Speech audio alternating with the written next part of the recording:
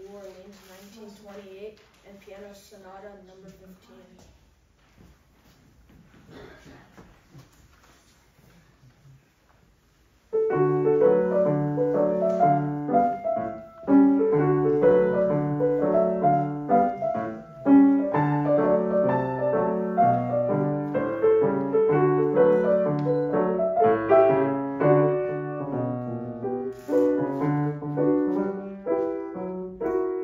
Thank you.